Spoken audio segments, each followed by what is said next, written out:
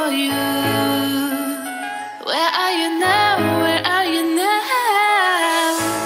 Always try my best for you. You just know it.